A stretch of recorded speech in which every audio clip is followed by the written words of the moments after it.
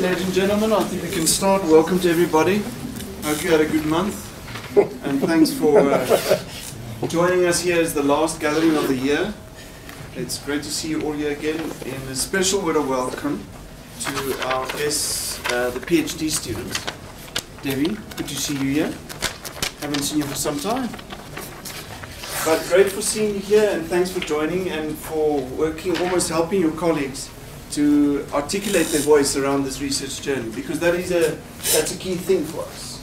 That you will use this opportunity, as you are going to do today, to learn, Thank you. to talk Yes. and to find the voice and to get terrified at times, but to enjoy it, hopefully. Thank you. So uh, we're going to start off with Thulani, and just as you know, it's not really a, a big thing, the introduction, but Thulani is uh, the Chief Executive Manager for HR at Denel Land Systems, and he's got a very elaborative, Linda, topic, which in itself I think is problematic, but you know, he chose it. He's, he's working on design, develop, implement, and evaluate, Emeka, a leadership development framework for the defense industry, and he's going to use the South African context. So I think let's just think about it. He, he wants to do a number of things. He wants to design, develop, implement, and evaluate a leadership development framework for the defense industry, and I sense that you're going to work specifically in the South African context. Absolutely. Good. So let's start. Maybe you want to make some opening remarks. Thank you. Um, first thing that I want to say is I'm aware that the defense industry is a very closed industry, and uh, few people really know what the landscape is inside the defense industry until somebody explains it. A good example is quite a number of people believe that um, uh, companies like Denel, for instance, which is um, a bigger uh, OEM in South Africa in defense, belongs to the Department of Defense. I mean, it makes sense. But the defects are different. Uh, Department of Defense is the, is the customer, is the client of companies like Denel. The, the owner is the Department of Enterprise. So it is a state-owned uh, company in the same stable with Eskom, in the, in the same stable with Transnet. So it's mind-boggling when you tell people that because they say, we believe Denel to be, you know, a, a company of soldiers in the army, and it's not true. Uh, basically, perhaps I should just sketch a little bit, um, uh, with your permission, uh, um, um, Professor Benny, my background, and then uh, a little bit on the landscape of uh, what exactly does the defense industry, especially internationally, but especially in the South African context where I want to work, look like today. Um, as Professor Benny, my, my name said, my name is Thulani Mahlinza. Uh, I actually was born and bred in KwaZulu-Natal. I come from a, a township called Umlazi. Umlazi. It's one of those, uh, most of the townships in, in, in South Africa that is very much underdeveloped. Uh, you know, but if you, if you drive through today, you know, you see some pockets of development. But when we grew up, you know, things were not there from basic infrastructure to basic services. You know, you know poverty still even today strikes you as you walk, as you drive through the township. With quite a number of families there that are living below the breadline. I must say that I also come from that type of family uh, that, that was poverty stricken, stricken. and uh, a family of six, uh, five uh, boys and one girl. My parents were semi-literate, they hardly went to school, but uh, an irony of all is that uh, they emphasized education a lot to us as children. They drilled to us, we, we almost got indo- indoctrinated on it. Uh, I think this background, actually, this is where I want to kick off in terms of, you know, who is Thulani. I actually see this background, my, my, my upbringing, as the thing that shaped my belief system. Today, I believe in the power of education. And uh, I believe that education, amongst other things, is the main key that can open the doors, you know, and bring opportunities closer to individuals, regardless of the background. I've seen it, I've experienced it.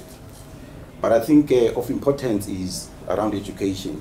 I believe that uh, one should use the little knowledge that one has, little experience that one has, even your position, if it's possible, to empower others.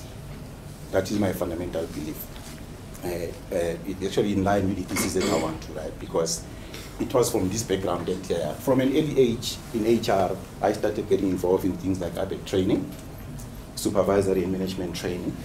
I started getting involved in talent acquisition and talent management, which I'm still doing, mentorship and coaching, which I'm still doing. It's coming from that particular background. I think uh, the, the, the, upbringing taught me that uh, the, the human behavior, the power of human behavior in influencing others, motivating others, directing others, it can never be overestimated. It, it's super. That's why in my mentoring and coaching environment, I've actually experienced that uh, and learned that people need few things from the people that have walked the journey uh, behind, I mean, in front of them. They need an objective listener to say, this is the problem that I'm having, this is the challenge that I'm having, how can you help me? They need uh, an objective assessor to say, this is where I think you're going wrong and that type of thing. They need a door opener uh, to networks and connections. Uh, they, of course, need skills and knowledge transfer. They need a performance enhancer. They need a, a strategic direction in terms of uh, strategic insights.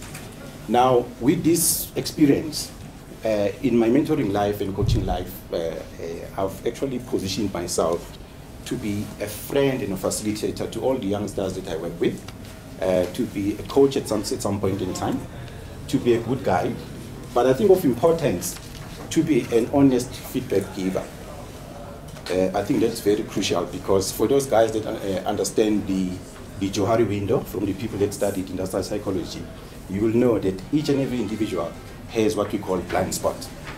Uh, uh, you will need somebody else to actually expose the limitations that you have in your blind spot. Therefore, during this coaching session that I do with people, I, I make sure that uh, I become an honest feedback giver. Uh, but I also believe that um, I, I, I, mustn't be just a team player, but uh, I must be a leader in the team. That is how uh, I project myself. And uh, I enjoy the uniqueness of every human being, and I like people to see me as a person that they can trust, as a person that is very receptive and helpful in what, uh, whatever their needs are. I believe that people are capable, everybody is capable, as long as there is some effort that is given to develop the people. Uh, basically, that is actually from myself, but uh, if Professor, you can allow me to sketch a little bit. Okay, but let yeah. me therefore say, so what we hear is, almost from your ontological perspective, you're very grounded in an awareness towards people around you. Absolutely. And the role that you could play.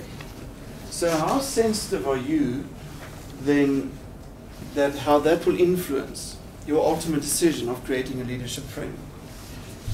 What is going to drive the process in terms of uh, whether it goes east and west is the amount of reception that people are going to have.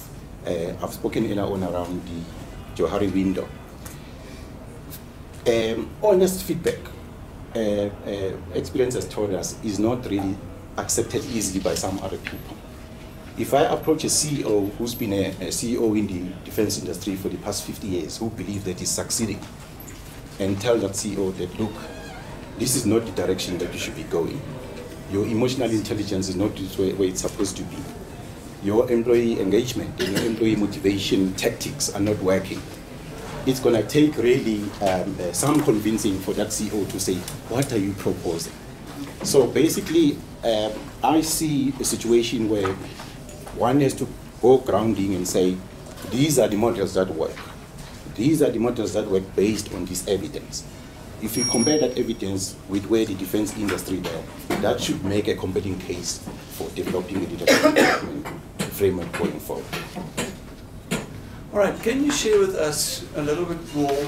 So that's that's how you look at it from inwardly, from yourself. Absolutely. Can you look a little bit more around into some logical perspectives that you have around how do you see the reality around you? Thank you. Ladies and gentlemen, if you don't mind, I'd like to start the epistological, um, epistemological perspective by just sketching um, a very short analogy. And uh, I will explain in a minute the relevance of this analogy to the question that uh, the professor asked me. If, if, if I look at the world and I picture the world, I actually compare it to a, a blank canvas. You know the canvas that painters use, the, the artists use? A very huge canvas And uh, the powers that be in this canvas are very open-minded in the sense that uh, they allow any artist, painter that enjoys and is passionate to paint to freely walk into this uh, without limitations to this canvas with uh, various multicolored buckets of painting and start painting in whatever corner that they want using their skills, creating mag magnificent pictures of art from there with freedom. That is what I imagine. And uh, these powers that be in this analogy of mine should be so open-minded, should be so competent, and the attitude should be so positive that it actually goes into these uh, painters and make these painters excited to be part of this canvas, to, to, to relate to this canvas.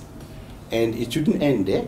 It should be so contagious, the, the attitude that they have, that the canvas itself start attracting more very, very, very highly skilled artists to come and paint therefore maximizing the painting efforts in this particular canvas. Being smart as well, as, as, as powers that be, to say, should these painters find a reason of not being happy, they can vote with their feet, which will be very devastating for the operations of the canvas. And uh, with freedom, with liberty that these artists have, the powers that be, they must be also so strategic to maintain and manage the, the activities in the canvas. What do I mean by that? To ensure that uh, whilst these artists have liberty of painting what they want, where they want, but uh, at, at, a certain point in time, they ensure as managers uh, of that canvas that uh, at, at the, the canvas corners are well covered by uh, every, having a right painter at the right corner at the right time. Now, what is the relevance of all this? If I look at the world in all spheres of our life, could it be in politics? Could it be in, in business? Could it be in sports? The, the, the importance of the attitude, the competencies of the powers that be is a decider whether that institution is going to be counted among the failing institutions or the successful institutions. Now, on my way here, I was thinking about a few things that are surrounding us, which are actually examples exactly of what I'm talking about. Today, we hear of something called brain drain, where citizens of a country are threatening to leave the country to, to go and plow their trade in, in foreign countries because they believe that uh, in the countries of their own, their skills and abilities are not recognized. They believe that uh, uh, the, the, powers that be are, are, not really skilled enough, competent enough to really understand what they can contribute into their country. Therefore, they have to leave, which points exactly to the analogy of the canvas that I've made. We hear about um, today something that is called service um, uh, delivery protest in South Africa, where citizens are saying, we have needs, but those needs are not being, uh, I mean, uh, uh, the, the, people that are supposed to address those needs have some level of not being competent, and uh, it actually makes the resource allocation not to be what it's supposed to be. We, we, we get something that one would never thought 20, 30 years ago it will happen, where people like teachers, nurses, even doctors are mobilizing themselves maybe through the unions, you know, publicly challenging their leaders, their, their, their employers in the public sector, in education and health, uh, uh, protesting about poor working conditions, hospital infrastructure that is falling apart, education uh, equipment, books that are not delivered on time, etc., etc. Now, in my epistemology approach, I'm saying this is the world that we live in. But should it be like that? I'm saying no, it shouldn't be like that. It should be like that canvas that I've mentioned earlier. Uh, the, the, powers that be in the public service should be, should be trained. Investment must be done to make sure that they are, they are made competent, they receive a, a, a good amount of uh, development to, to be in a position to articulate what I call compelling visions and strategies to transform these institutions to world-class uh, public facilities so that the public workers that are working there can feel a spirit of engagement and a spirit of uh, motivation and, and, are proud to be uh, public uh, workers and they can deliver quality public work. the same is in business as well. We often hear people saying uh, people or employees join the organization, but when they leave, they leave managers. You know, which alludes exactly to what uh, I was actually saying earlier on in terms of uh, the canvas, to say if those supervisors on the shop floor those managers, those executives are not really, you know, made competent, no effort is made to make them competent. No investment is made to make those people competent, to, to, to, to push their emotional intelligence to those levels where they will be in a position to manage those, those particular institutions uh, in such a way that uh, it becomes successful entities with employees dying to be there, regretting to go home every day. So basically, this is how I see those. So as a conclusion, I say, if you look at the world, the first question that we must ask is, what do human beings want? Homo sapiens, what do they want? Once we crack that code, then we say, what then do we do to teach the dealers to be able to give the human beings, be it in the workplace, be it in, in, in government sectors, what they want? Because if the leaders are trained to give what human beings want, then alternatively, the, the, the, the, human beings are going to give those institutions what they want. But the leaders can't give what they don't have. Good. This is a mouthful and it's very rich, but I think there's a discussion that I would like us to have later in saying how does your analogy of the canvas and the leader who opens up all of it, how does it relate to the defense industry? Yes. But you can hold that for a moment. Yes. Okay. Can, can you share with us a little bit, uh, Thulani, on so how are you going to string this together from a methodological point of view? What is, what is the research methodology that's going to keep how are you going to keep this thing together? Yes. I think uh, if I look at the nature of the research that I intend to embark on, I'm intending to use what we call qualitative uh, research paradigm. Uh, because uh, I'm, I'm, actually going to be dealing with perceptions of people. Mm -hmm. I'm going to be dealing with concerns. I'm going to be dealing with aspirations of people, mm.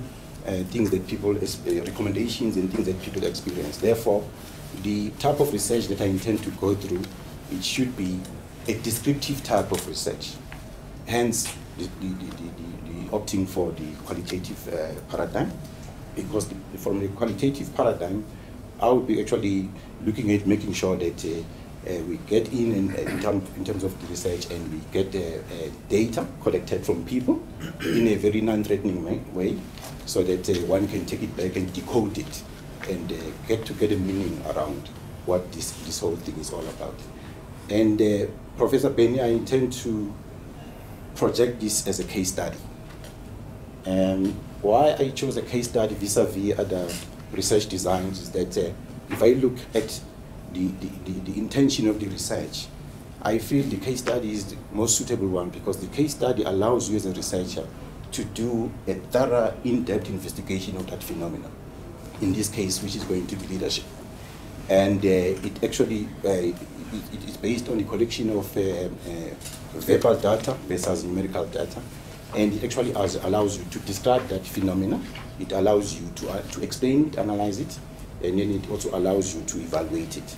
I think it also, as a case study, enables you as a researcher to get the context not just the content, but the context of that phenomenon. When you say leadership in the defense industry, what is the context of that leadership? What are the confines that those leaders in the defense industry are working under vis-a-vis -vis leaders in Vodacom, for instance? So that's the context. That, that's how the, the case study helps you to, to, to, to be able to, to, to, to do it. Can I ask a bit on the case study? You can look at case study in the, in the narrow sense. And so I'm going to draw a line around Denel, and I'm going to talk to people within the defense industry. But you could also look at a case study systemically and its positioning within a broader socioeconomic or a social system. To what extent are you intending to use the perspectives from the broader social system as part of that case study? Therefore, also people who are indirectly involved in defense. Absolutely. The idea going forward is to identify the, the, the, the, the non-aligned uh, uh, uh if I say non-aligned before I can go further, let me explain to, to, to, to the ladies and gentlemen. In South Africa today, there is one big OEM that is actually responsible for defense or is trusted by South Africa for defense, and that's Denel. It, uh, as I've explained, it is, it, it's actually part of the uh, state-owned companies. But this is where the, the landscape in South Africa decides who's the big player, who's the small player. What happens, the, the, the uh, um, modus operandi is that uh, the, the RFPs that go out, requests for, for, for proposals, and the, the, the contracts that get uh, uh, uh, placed, they're placed in Denel. The army doesn't place orders on small companies. There's a level of trust in terms of security of supply. They place it at a bigger OEM as a prime contractor, and then it's up to this prime contractor to say who of the small players that are in the defense industry in South Africa are aligned with me. That's where the word alignment comes. they can subcontract. Because there are those that are small in South Africa that are not aligned. Um, as of late as of 1992, the, the, the, the defense in, in South Africa, the small companies have not been thriving because there was, there was a monopoly nobody was allowed to compete with Denel for, for, for tenders in the government. Today, it's an open market. The small companies, if, if, if, if the, if the DOD feels that uh, this, this, this, this, proposal looks good, they can give the, the, the, to, Denel, to this company except Denel. Now, basically, going back to the question is that with that as a background, the entry level would be the defense industry, the, the, defense companies, the Denel first of all as a prime, with the defense companies that are aligned to, to, to them. But then it's going to be interesting to see, for instance, what are other parastatals, because we're part of the parastatals, who are not in defense, but they, they are managed under one, what we call shareholder compact, under Department of Enterprise. The Department of Enterprise, all these parastatals that are under them, they actually have what they call shareholder compact that they use to manage those people, of which Denel is one. But none of those other uh, uh, parastatals are defense. So it will be interesting to say, outside defense, how, what does the picture look like around leadership uh, uh, philosophies, leadership styles, leadership um, uh, activities, and so forth in these other parastatals, for instance, in South Africa? But it's going to be interesting as well to, to look at private sector, uh, to say, you know, what are the, uh, the, nimble, the, the, guys, that are fast, the FMCGs, what is their um, uh, uh, uh, approach? What is their strong points and stuff like that? How can it be tweaked to suit the environment of Denel? Because the challenge that we have in Denel is that, uh, sorry, in the defense industry, is that uh, it comes, it still is, but it comes from what we call a military doctrine. A military doctrine is this guide, this holy guide, that guides how managers do budgets, how, how marketing is done in the defense industry, um, uh, how people are managed in the, defense industry, and so forth and so forth and so forth. Any deviation of that is zero tolerance. now, this has been found to be against any commercial principles that business schools are teaching to say this is what you should be doing uh, uh if you are in business. Uh, there's a clash there. Now, the issue is then to say you're coming from that background. You, you're sitting with a, depart, industry where institutional knowledge, knowledge of the defense networks, is regarded as competence, uh, which creates a little bit of a barrier of entry with people with leadership saving who wants to join uh, defense industry because if this person hasn't been in the defense to understand how the, to understand how the network work and uh, how the processes work, you know, taking into the past, then is regarded as not competent for this environment, you know, which is destructive on its own. Now, basically, one has to say, we what we're going to build is going to be um, very.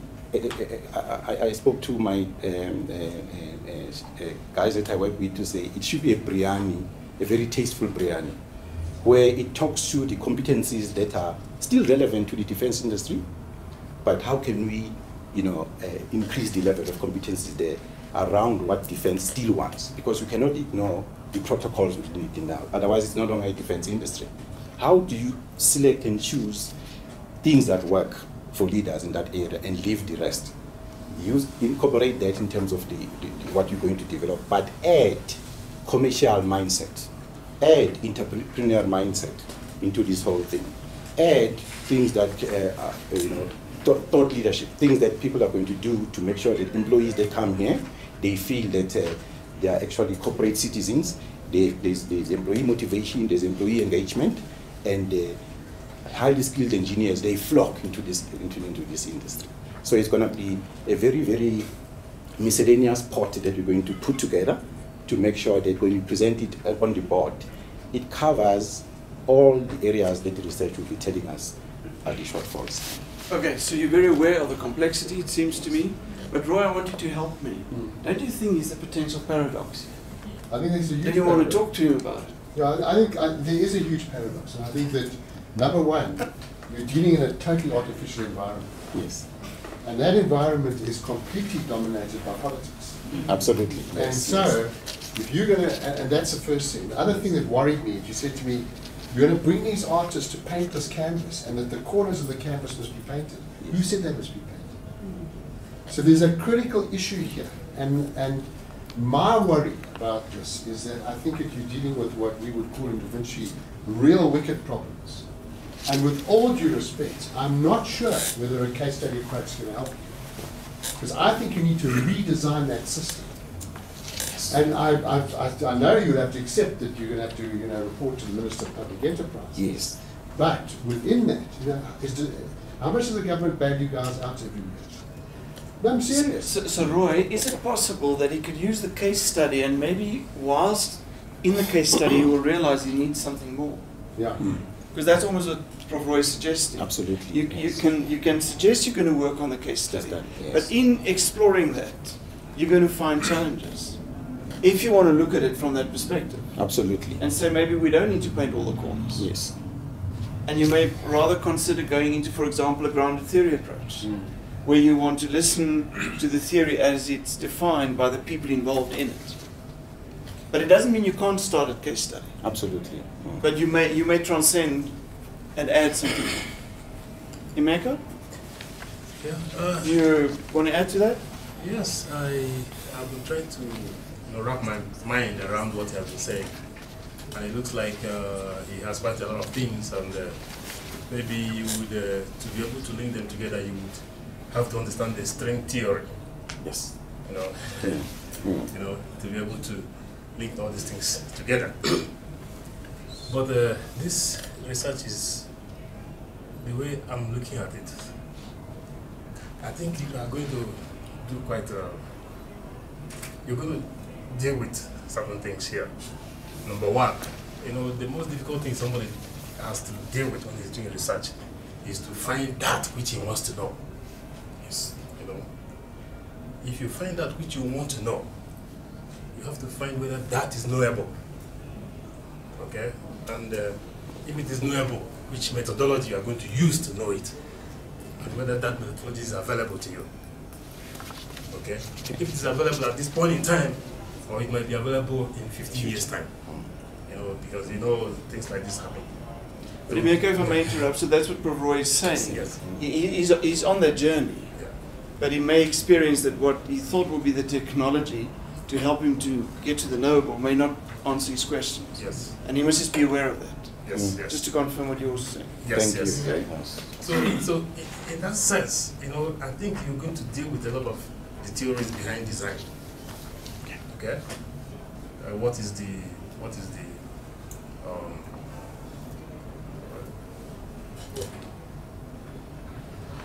what do you base design on? You know, like what would be the limit of design? You know, what Okay. are you designing? The nature of design. You have to deal with that, and you have to deal with uh, the theory of. Uh, uh, implementation and the theory of, of uh, evaluation. Yes. Okay? So it is these theories. The reason why you have to deal with these theories is because that will tell you the basis of your knowledge that you're trying to develop. Get a point? I'm with you 100%. So by the time yes. you are through with all those things, there are certain things I believe that would naturally be sifted. Know, they will just fall off. Okay? And if you are talking about, uh, you are looking at things that work, where are you going to get these things that work? Are you not, what about uh, innovation? What about uh, imagination? What about creativity? Are you, what, what kind of innovation are you going to bring into, into, Into leadership? Yes. And is this leadership actually going to be different from the kind of leadership that you have in the other industrial sectors? Mhm. The kind of uh, leadership, you know, the one lady that came here last month and tried to excite our mind about leadership and the way she went into a lot of things, you know. So that you get to deal with quite a lot of things about leadership. and who is the leader here and uh, who is leading the leader and, uh, all this stuff. I think these are issues. You know. So it's complex. Yeah, That's the message you're giving. Yes, yes. Thank Okay. you. Can I comment on that? Yes, Martha? I once visited uh, the government training institute, they call themselves Palama, they're in Pretoria, um, uh, to, to, to really support that comment. And um, I had to be, we are a team, we had to be taken through a, an hour uh, presentation to say what is the institution all about, successes, highlights, failures, and stuff like that. I believe that um, the question is correct. It's something that it's a food for thought for me because I had that same question when I was in that institute to say, what's going to change on Monday? I couldn't get that because um, uh, I felt that uh, it looks to me like a, a, repeat of what has been done. It's just a matter of packaging it better. Mm. But the principles are not changed, but uh, packaging it better, call it something different. And uh, that was my, uh, I'm sorry if there's maybe somebody coming from that institution, it's, not, it's constructive criticism, which I gave on a day. And uh, I worked out feeling that uh, if I picked up a book on what uh, they used to be called something else before they could be called Palama, there was a name that was used. SAMDI. something like that, yeah, some. If I picked up a document of SAMDI and I picked up the Palama document in terms of what is the, the, the philosophy around this development was, I, I, I saw I'm reading the same document, but I'm just you know, different terms and stuff like that. So yes, definitely this is what uh, one have to, have to apply his mind around to say, you know, uh, area differentiation. Where is the differentiation element, which is going to excite people to say, you know, why should I really buy in into this thing? If I'm the group CEO of the who's got other things that I believe are important, and uh, this uh, HR director stands in front of me and presents this, which is going to cost me money, what, what are those compelling uh, elements in this thing that are, are, showing uniqueness, are showing return on investment without doubt, and are showing that uh, they are talking to the environment that I'm operating in, value adding. So, yeah, I, I take it. Okay, any other questions? Yes. Yes, I'm, I'm, yes, I'm called to this. So, uh, Professor, my questions out of context, please just let me know. I'm working on the information that I received. We're collecting the dots. Everything is well. to So, my, my question would be, from the information you provided, is how important would you then differentiate your attention to the following? Would the fo main focus be only on the canvas? In other words, the end result of what you'd like your leaders to achieve? Or would you need to extend that to the importance of the brush? In other words, the actions of the leader that we need to take. Do we need to look at the competency of the leader? Uh, do we need the actions you've made mention of the guides that are, that are available? How much focus would we need to pay attention to that? And then lastly, would you even further need to extend it to the artist himself, to the leader? Um, how important would that be to focus on the leader and the initial competency of the leader, and then also take into consideration the background of the leader? So how would you differentiate the importance uh, in those three aspects. Thank you very much. That's interesting. Yeah. To me, not playing with your own frame. Yes. Uh, I think uh, what I will have to do uh, is I must I will actually as my one of my critical points that I'll have to as a point of departure to differentiate what the means are going to be and what the end is going to be. Um, what do I mean by that is that um, if if I start now putting together the the I've developed here I'm going to explain it quickly what I in my view, uh, uh, uh, preliminary thoughts, what will be the elements of putting together this framework going forward.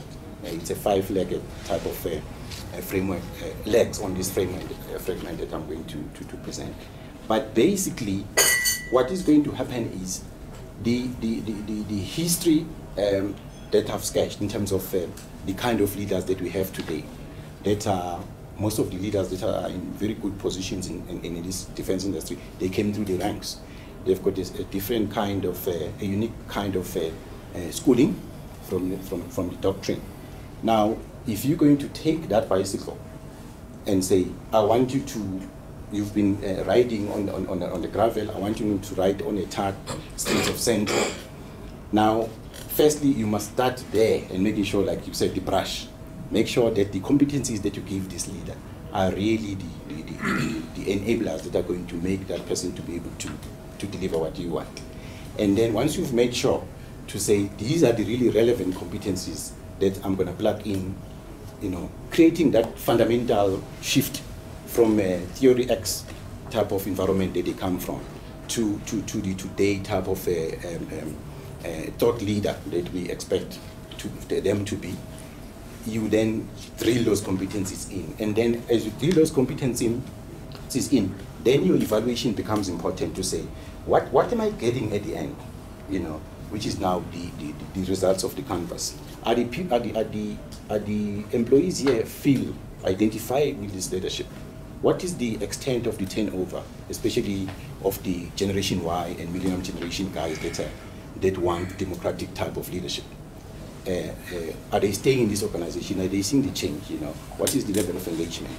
In terms of business results, are the business results after this intervention that I've done really showing a shift? You know, from an individual uh, competency level, the pre-test that I did on this leader before I could put him through the development of these competencies I've designed versus the post-test that I'll do on the assessment.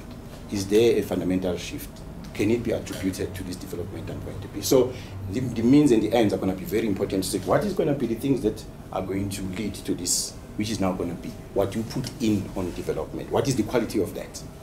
Is it relevant? How have you researched it to make sure that it's going to give you the same results? Once you've done that, then you say, okay, let's put this thing into action.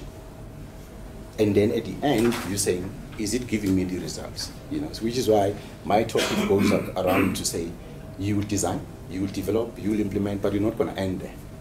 You have to evaluate as well.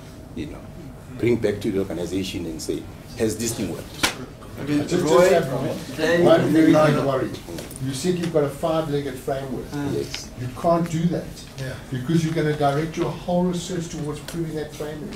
Okay. I, with all due respect, I think you've got to forget about that. Okay. Because what might, might, you might have an aha moment and say it's gonna come out, Yes. but if that is gonna be your guiding thing, you're gonna, you're gonna bend your research to that. Focus on Forget it. Hundred percent. And I think from a dimension point, that's an important comment. Yes. You don't need to prove that five-legged thing. You must allow it to emerge. David, you want to make a comment? No, somebody behind Oh, us. sorry. Yeah, I can, I can identify with Thulani. You know, the subject is just so broad. And I think uh, he's got an uh, ontological position that uh, seems to dominate his thinking. Um, he should, what I've done and what I've taken away from the Da Vinci notes is, and it's taken me a long time to get it right, is describe the challenge and the problem. Mhm. And I think that will allow you to niche and to focus your research. There was a lot of questions about methodology. I think it's difficult to predetermine it unless you know what you want to solve. Absolutely. The other issue is I think you're trying, and it's just a comment, I think you're trying to solve too much. Uh, there, there, there should be some driving message that you want to give your organization, and that will come up with your problem statement. Uh, at the moment, your analogy of a canvas actually reflects how you think. Because an open canvas means I can do anything, as, I can do anything. And you can have difficulty determining from a research point of view what you're going to incorporate in your research. So I just allow, I just, my advice is, and I've gone through some of this, niche it, identify your problem statement, um, have that whiskey on a Friday night, and the answers will come true. I Awesome, if I may comment on that, I, I, I almost thought I mustn't make a comment, but I would like to say, from a from a transdisciplinary mode and Yes. from a mode two perspective, Yes. I will challenge you on that. Okay? Because in a way, I'm concerned that he could almost he can focus very clear and have a very good methodology, but he may miss the bigger picture. Mm. And I think it comes a little back to Roy's perspective. So I almost want to say he can do that. Yes. And maybe he must do that. But then at the same time, I want to say he has to deconstruct it. Because otherwise, he will come up with a predefined box. And it will be beautiful, maybe, but it may not have any worth. Or it may have limited worth. Because I thought that he's predetermined what this framework should be, and he's trying to actually bring the research to justify his current. But you see, I like the idea of the canvas because that's open. But then he must be true to it, as Roy says. He mustn't decide he must paint everywhere. It's a canvas. Yes. And he must allow the reality to emerge as it is presented. Not his reality, Yes. yes. yes. people's reality. Mm. I think we're making the same point. Okay. Yes. You, you got a very articulate way of doing But it. you, but you got the point. Keep your focus. Thank you. Just, just a comment for me, I'm, I'm a bit confused. Initially you spoke That sounds about- good. Uh, that's- You spoke about a doctrine that was, that was basically part of the legacy of this organization where That's you could correct. pick up that people were doing things in a certain way. And I was not getting the wrong impression that you're trying to create another doctrine by creating this leadership framework, which is gonna say this is the Denel's new way of leadership, which will then also restrict people so that anybody sitting in this room who doesn't fit in that framework doesn't fit into the Am I, am I right or wrong? Yeah, I think, uh, Can can I Can just can I respond? almost, I don't Yes. want him even to Yes. respond, but I want to say that's a beautiful comment. Yes. that he must contemplate. Because the sub message almost now from everyone is, is, is somewhere in between that. So I think that's an important comment. And you, you don't need to argue, but you, I Thank think you you must so you must be aware of that. Thank you. What, what interests me is anybody worried about the fact that he wants to develop a leadership frame for defence? Yes. Ah, no, tell me. Let's see it. Sophie, what is the challenge for your mind? Um, the challenge from my perspective is, um, if I think of my layman's point of view of what defense organization is, Mm.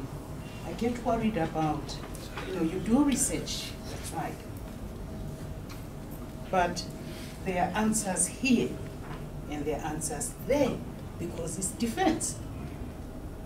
So how is he going to select which ones are the authentic answers from what he's getting? Even if it is a canvas or painting, or he's going to paint, the leaders are going to paint. But if it's defense, I get a sense that some could paint on a porous canvas. And what we see here is not the actual thing. It's what we see on the reverse side. Mm. That's actually what they've painted. So defense, it's, it's complex. But that, that's How- beautiful, Mm. Thulani. That's beautiful. I think there's a lot of wisdom in that. And I want you to play because I didn't hear that message until now. Linda, and then you want to make a comment Poppy? Um, my comment is very similar to Sophie's, where I say you are looking at the defense or leadership within the defense arena from the outside, from an HR perspective, from a very soft uh, perspective. You spoke about coaching earlier on. Um, and we are going into an area where there is doctrine, as you rightfully say. The two are very diverse, they're juxtaposed Yes. how are you going to make an entry into there? And then at the beginning, you gave us a long drawn background of yourself. Where are you bringing this into your research, or how, how is it going to influence your research? I think um, the fact of the matter, which I think is a, is, a, is a starting point in terms of there's a doctrine, that, that's where you come from. Is the doctrine still relevant? I think uh, as much as people are trained in this thing, the economic factors are coming in the face of the in the boardroom to say this doctrine is outdated. Examples: small companies are taking over that are run on commercial basis. They are taking over in terms of um, uh, uh, the, the, the, the contract that should be coming to, to, to, to, to the bigger OEMs because they are able, they use uh, um, commercial principles to, to, to, to market themselves, to, to, to run their organizations, and they, then they lead, and the, the, the, big OEMs like uh, Denel, they stay behind. That's a wake-up call to say, you know, is this thing still, is this doctrine still still working? Internally, the, the, the, the, the- dynamics within the, the defense industry is the fact that uh, because it's technical in nature, the, the, the- it wants to attract what we call knowledge workers because it has to compete overseas in terms of other OEMs, you know, in Germany with other very high, highly um, um, commercial industries there in defense. But the fact of the matter is these knowledge workers they, they, they- there's a, a huge exodus of them the moment they land in because they see this canvas is not for me. Now those are wake-up calls where we as the HR professionals are coming in now and say, guys, isn't this the time to do things differently? Look at the, what the scoreboard is telling us. And then from that perspective, then leader says, what do you have that is going to be new, that's going to be unique? And then you come in and say, I want to develop something like this. I'm in the process of developing it. The results that I'm actually foreseeing, uh, you know, uh, could be this, a better retention strategy, better um, attraction strategy for the employees that you need but you can't get, a, a, a, better competition strategies there in terms of uh, where, where other industries are, because we're dealing with the people that are the, the, the leaders here. We're saying, get into into these commercial principles. Be entrepreneurial, have emotional intelligence. We, we, throw in all those things in a, in a, in a nice way. So, in a, in a nutshell, the, the, the, you, you, you, you have to, to put this scoreboard in front of the people and say, given this, do you think we should continue the way we used to do things 50 years ago? And then, it's, then you can take it forward. Okay. Uh, Thanks. Um, uh, I've- I I want to ask you one question, then with a follow-up question. Is this a framework to change leadership in general or in defense? Actually, I- yeah. Yes, the, the, the, the, the, the, it's, it's in the defense industry in a South African context. Now, in a South African context, as I explained earlier, the major role player is Denel. If you, if, you, if you really want to see the impact, Denel has to be your focal point, extending, of course, to the subsidiaries, extending to the other uh, uh, uh, small, medium defense industries within the company, within the, within the country that are not very visible. But if you don't focus on Denel, which is a major role player, a prime uh, OEM in South Africa, then you miss the boat. Okay. Follow-up, Poppy? Okay, follow-up is the, I got worried when I hear the word defense, from knowing defense as a, as a department, that we used to call it secret services because they don't tell anything. And they don't tell anything, so I know a point has been made already to say, are you going to get the right information?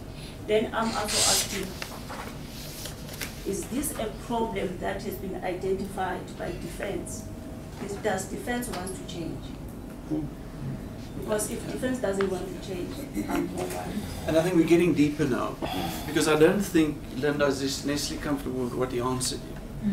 Because in a way, you are making the assumption defense is okay. Now, what if defense is not okay? If I may put it that blunt. We, we change it. What if Uh, defense is okay. Now I'm just trying to put the But I question want into you, I want you to consider, as part of your thesis, Yes, sir.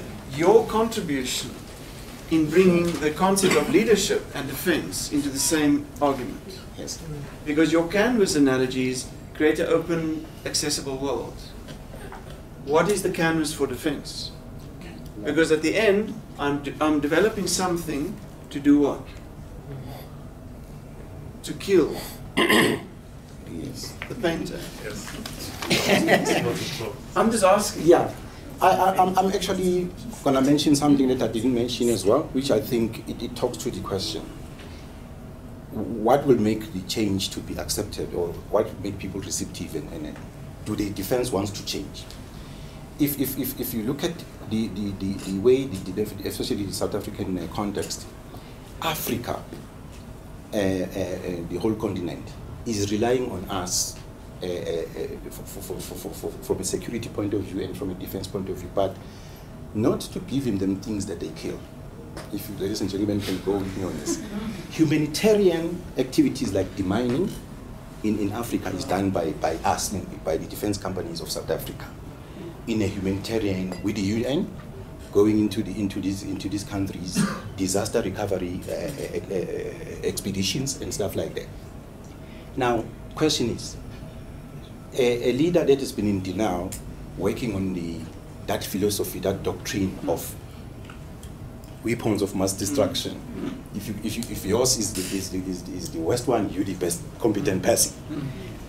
And take this person and say, now, design a strategy, a humanitarian strategy to enter Africa. That guy can't, because you, you, you, you're taking a rugby player, you put in a soccer field. Now, what I'm saying with, with the framework, I'm saying, guys, the ball game has changed. The ball is now round, no longer over. I think let's talk about it to say, because we're going to use the same players, how do we teach them to play rugby? And this is where I come from with the new leadership development uh, sort of framework. Because at least we sensitize. Him. I think it's very great for, as from a university perspective, Thulani. Yes. We don't have any view of what is right or wrong. So the fact that you want to work on leadership and defense, we embrace it. But we want to, and that's what the colleagues probably is trying to make you aware, let's think of it in, in its full Broader consequence. context, yes. In its full consequence. There's a comment at the back, Rocco. Sorry, uh, Thulani, just one other issue I'd like to ask. With regards to legislation, because Denel is governed by legislation. Correct. Uh, you know, and it's, it's a very s- uh, bureaucratic Absolutely. document. How will you overcome that? Because there's certain information that you're not allowed to divulge. Mm. Because you, I mean, if you look at the, Denel as a company itself, you, you cannot get information, even if you see on Absolutely. the company's office. You will not get any information because it's one of those companies that is hidden in the way. Absolutely. Um, I don't know how You need you're to gonna overcome, because you're gonna have to look at certain issues to overcome Okay. and get Parliament to give you, and Cabinet to give you the okay to actually do what you're trying to do. Okay, so that's a consideration Thulani, that you must just be aware in your methodology. Garth? This is Garth, sorry. No, it's Gavin. Gavin, sorry. Hi, Thulani. Hi there, guys. I use the very same sort of di- dichotomy. Um, what I'm reading between the lines is that you're saying there's competition out there. Out there. So there's a pers- not a perception. The one question we need to ask: How much is core funding, and how much do you need to go out into the market to become competitive? That is your edge. Excellent. Because what, what what I'm seeing here is you're sitting with the bureaucracy on the one side, who depends on the 60 70% core funding, they can be fine. On the other side, you need to grow your balance sheet by going out and gain new business. So that is where this model should be applied. Because when you sit and you look at DPE, it's not 100% funding anymore. Yes. Um, Yes. The the field has opened since 2008 with the changes in legislation, so it's open market competition. Yes. So your model is applicable to the sustainability of the The business. organization beyond core funding. Absolutely. Absolutely. I'm accepting that comment. David, do you want to make any comment? it was very well put. Mm. Very well. Okay, Emeka? Yeah, this is the very last one. Um, though there has been a scattering of uh, recognition of the technological aspect of uh, defense. If you look at it, it is purely, purely a technological thing. Um, it is the, the technology is not a very cheap one, and it has not been very easy to come by and those who have this technology are not dispensing it quite easily. Mhm. So you're talking about uh, training people, and I don't know how you're going to uh, bring people to be trained on how to become uh, missile technologists, I mean missile scientists, you know, rocket scientists, you know, nuclear scientists. If you look at this thing, you would see you have made mention of Africa, which is quite interesting to me. I, I I have not heard from your point of view how we are going to be technologically competent and uh, uh, when it comes to if you ju- juxtapose Africa with other say Europe, America, um, Asia. If you see the let's not talk about the arms deal. You know, they went to Sweden and uh, France and other stuff to procure already made arms. Okay? And those arms have capacity. And the making of those arms, we don't have the capacity in Africa or in South Africa or in any part of Africa. Now they have talked about going uh, the nuclear, uh, uh, Yes. wherever. They have gone to Russia, they have gone to France. They have, these guys are competing, you know, and that that that is going to take about 1.2 trillion rands. Okay, as the case may be. We don't have that technology locally. That's why they are actually looking for it from overseas. And the people who have it are knocking on the doors and pressing on us. Before, if they get this contract, they are going to control us like anything here. Do you get the point? So the leadership, I I don't know the, the kind of leadership you're talking about. Is not just make uh, Denel to have a kind of a leadership, whether it's a dictatorial leadership or a democratic leadership, to be able to be procuring arms from Europe and America and, uh, and Asia, or they have to have a kind of a leadership to evolve knowledge from within us, technology, and for us to be able to go to space. Look at India has actually launched something to Mars. That thing traveled for about 600 million kilometers, and they landed it. And- Benny, I'm, I, you, Yeah. on the 2nd of February, I'm going to take you. I'm going to show you something about South Africa. Absolutely. Which will Yeah, blow your mind. to say Be careful. I want to we what are you say. world leaders in many Thank you for that, of yeah. defense. World leaders. So even the Americans are fighting and struggling to cope with the South African onslaught of Absolutely. new technology. But I think the He's point that I do the- take from Emeka is you want to say, if you talk leadership, how do you talk about the technology component? Yes. Yeah, that's Yes. I think that, that's the message that you That must, I must take maybe look at. yeah. Okay, can we get a closing remark from somebody? Nobody? Yeah, Let me comment, please. I please. Um, firstly, you only see what we want you to see. But just say that again. You will only see what we want you to see. Therefore, your idea of a canvas, and let's look at genre of art. You could have abstract, you could have the painter using a specific tool a specific type of brush, brush to paint abstract, and another tool, another kind of specific brush to paint still art. So your canvas is not possible. You have to have a multi, uh, multiple canvas approach, and then it's not integrated. And again, we go back to the issues raised on that side about visibility, accessibility, integration, and truth. And truth drives the strategic imperatives, uh, imperative of the sovereign and the strategic imperative of the contractors. There is no link. There will always be a difference between the two. So, if you want to really study defense, you would have to infiltrate the organization. Which for you at this stage, unfortunately, is impossible. But that's a very powerful comment. Yeah, it is. That you can reflect on Yeah, reflect on. as a PhD. Yeah, thank you. Yusuf, as a student, do you want to say what do you take what do you take home today from this discussion? Um, well, I haven't gone about even doing my first research paper, so it's more about finding out how to go about doing your research and what methodologies to use, which I'm picking up in bits and pieces. But um, And how's the discussion with Thulani helping you? Where does it take you? it takes me all over the place, to be honest.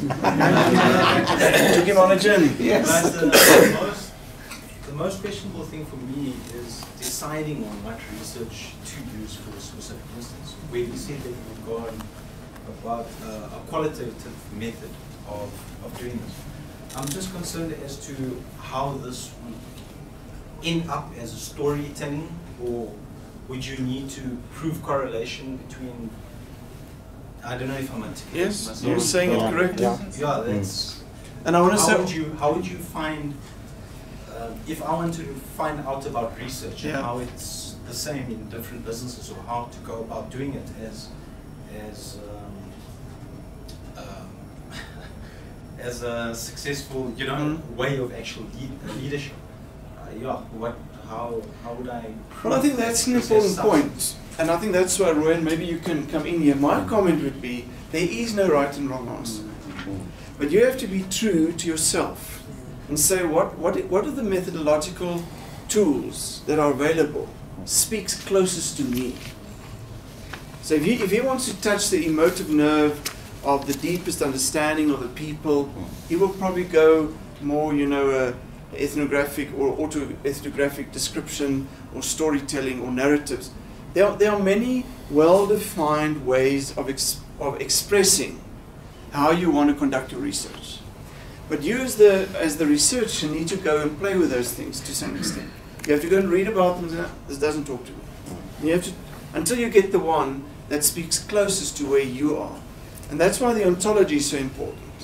And if I listen to where Thulani comes from and how he thinks, I can understand why he will choose a qualitative frame. I can also understand why he will use a descriptive frame. Because he want to, doesn't want to talk in exact terms.